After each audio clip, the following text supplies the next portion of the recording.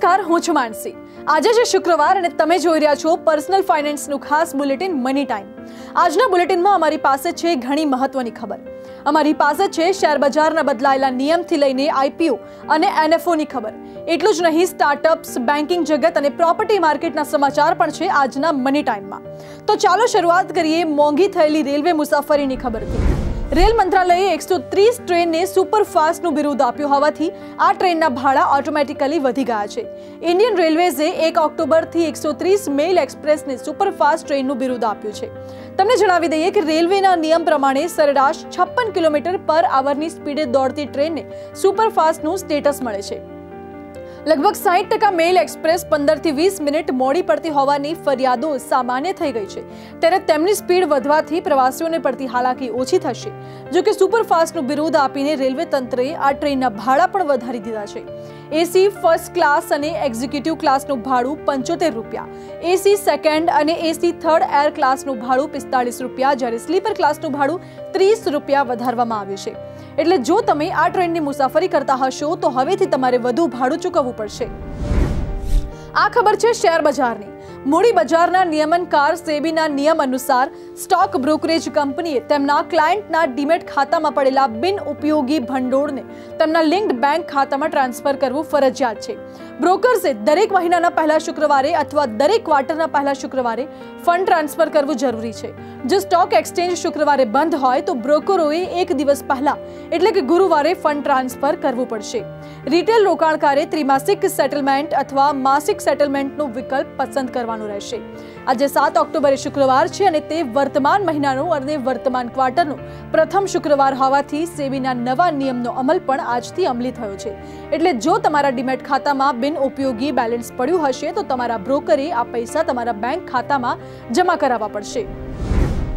હવે વાત કરીએ આઈપીઓની બજાજ ગ્રુપની કંપની ઇલેક્ટ્રોનિક માર્ટ ઇન્ડિયાના આઈપીઓમાં સબસ્ક્રિપ્શનનો છેલ્લો દિવસ શુક્રવાર હતો.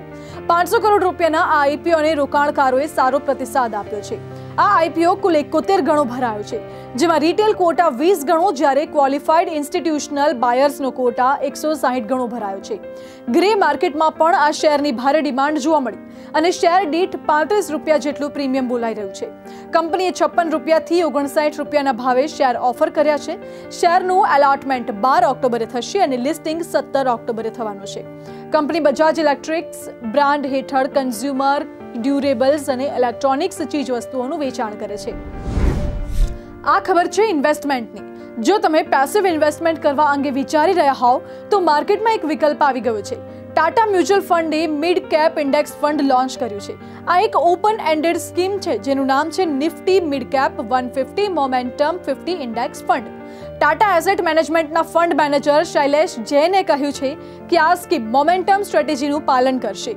આ સ્ટ્રેટેજી હેઠળ ફંડ મેનેજર આગામી પાંચથી દસ વર્ષમાં મલ્ટી બેગર્સ બનવાનું સામર્થ્ય ધરાવતા હોય તેવા મિડ કેપ શેરોમાં રોકાણ કરશે. તેમણે વધુમાં કહ્યું છે કે આ યોજના લાંબા ગાળાના રોકાણકારો માટે આદર્શ છે. આ એનએફઓમાં સબસ્ક્રિપ્શનની છેલ્લી તારીખ સત્તર ઓક્ટોબર બે હજાર બાવીસ છે. અત્યારે માર્કેટમાં ઘણી સ્કીમ સબસ્ક્રિપ્શન માટે ખુલ્લી છે, જેમાં ICICI, Prudential transportation and logistics fund અને એલઆઈસી મલ્ટીકેપ ફંડનો સમાવેશ થાય છે. ઉદ્યોગ સાહસિક બનવાનું સપનું સેવી રહેલા અને પોતાનું સ્ટાર્ટઅપ શરૂ કરવા માંગતા લોકો માટે એક સારા સમાચાર છે. એન્ટરપ્રિન્યોરને સરકારે ક્રેડિટ ગેરંટી સ્કીમ હેઠળ લોનની ગેરંટી આપી છે. નાણાકીય સંસ્થાઓ ક્રેડિટ ગેરંટી સ્કીમ હેઠળ નક્કી થયેલા નિયમોનું પાલન કરીને લોન આપી શકશે. જો કોઈ સ્ટાર્ટઅપ યોગ્ય જણાશે, તો તેને દસ કરોડ રૂપિયા સુધીની લોન મળી શકશે. જો તમે પણ સ્ટાર્ટઅપ શરૂ કરવાનું વિચારી રહ્યા હોવ અને ફંડની જરૂરિયાત હોય, તો સરકારે નક્કી કરેલી બેંકો નોન બેન્કિંગ ફાઇનાન્સ કંપનીઓ ઇન્વેસ્ટમેન્ટ ફંડ્સ કે અન્ય ફાઇનાન્શિયલ ઇન્સ્ટિટ્યુશન્સ પાસેથી લોન મેળવી શકશો. મહત્વની વાત છે કે દસ કરોડ રૂપિયા સુધીના લોન માટે સ્ટાર્ટઅપ્સે કોઈ પણ પ્રકારની જામીન પણ આપવાની જરૂર નથી. સિનિયર સિટીઝન અને શારીરિક ખોડખાપણ ધરાવતા લોકો માટે એક સારી ખબર છે. દેશમાં સિત્તેર વર્ષથી વધુ વયના અને શારીરિક ખોડખાપણ ધરાવતા લોકોની સંખ્યા લગભગ પાંચ કરોડથી પણ વધુ છે અને તેમને ટૂંક સમયમાં ઘર આંગણે બેઝિક બેન્કિંગ સર્વિસ મળતી થઈ જશે. નાણાં મંત્રાલયના ડિપાર્ટમેન્ટ ઓફ ફાઇનાન્શિયલ સર્વિસીસે સિનિયર સિટીઝન અને શારીરિક ખોડખાપણ ધરાવતા લોકો માટે બેન્કિંગ સર્વિસીસ ફરજિયાત કરવાની વિચારણા હાથ ધરી છે. રિઝર્વ બેન્ક ઓફ ઇન્ડિયાએ તો ડોર સ્ટેપ બેન્કિંગ સર્વિસીસ ફરજિયાત કરેલી જ છે. અને હવે નાણાં મંત્રાલયે વરિષ્ઠ નાગરિકો અને દિવ્યાંગજનો માટે આવી વિચારણા હાથ ધરી છે. જો તમને ઘર આંગણે બેઝિક બેન્કિંગ સર્વિસ મળશે, તો તેમને પેન્શન માટે કે પૈસા ઉપાડવા કે જમા કરાવવા જેવા કામ માટે બેંકના ધક્કા નહીં ખાવા પડે. આ ખબર છે બેંક એફડીના વધતા રેટની. દેશની સૌથી મોટી non banking finance company Bajaj ફાઇનાન્સે વિવિધ મુદ્દતની ફિક્સ ડિપોઝિટના વ્યાજ દરમાં વધારો કર્યો છે. જો ગ્રાહકો ચુમ્માળીસ મહિનાની એફડી કરાવે, તો બજાજ ફાઇનાન્સ તેમને સાત પોઈન્ટ પંચોતેર ટકા જેટલો ઊંચો ઇન્ટરેસ્ટ રેટ આપી રહી છે.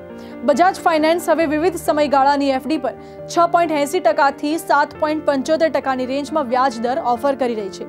ગ્રાહકો ઓછામાં ઓછી પંદર હજાર રૂપિયાની રકમથી એફડી ખોલાવી શકે છે. ગ્રાહકો સિસ્ટમેટિક ડિપોઝિટ પ્લાન હેઠળ બજાજ ફાઇનાન્સના ફિક્સ ડિપોઝિટ એકાઉન્ટ્સમાં નજીવું રોકાણ પણ કરી શકે છે. સિનિયર સિટીઝન માટે એક મહત્વની ખબર છે. ખાનગી ક્ષેત્રની ધિરાણ કરતા એચડીએફસી બેંકે વરિષ્ઠ નાગરિકોની સ્પેશિયલ ફિક્સ ડિપોઝિટ સ્કીમ એકત્રીસ માર્ચ બે સુધી લંબાવી છે.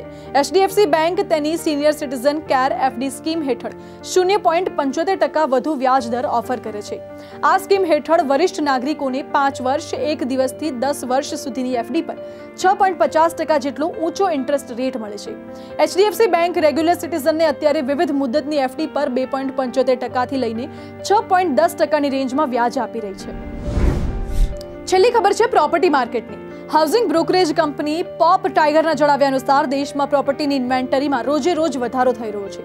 માત્ર આઠ મુખ્ય શહેરોમાં વણ વેચાયેલી પ્રોપર્ટીનો આંકડો સાત પોઈન્ટ પંચ્યાસી લાખે પહોંચી ગયો છે.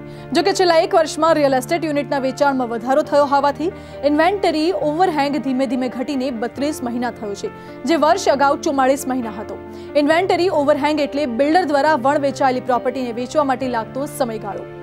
પ્રોપ ટાઈગરના જણાવ્યા અનુસાર સૌથી વધુ વણ વેચાયેલી પ્રોપર્ટી ધરાવતા શહેરોની યાદીમાં મુંબઈ ટોપ પર છે, જ્યારે દિલ્હી એનસીઆર બીજા ક્રમે છે.